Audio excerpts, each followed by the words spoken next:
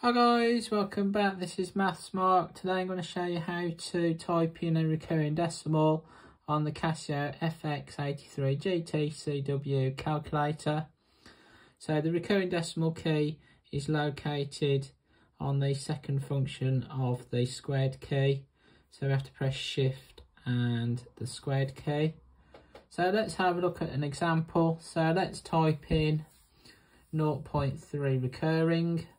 So if we press 0, then the decimal point, and then we want to press shift and then the square key, and we put the 3 in the box there.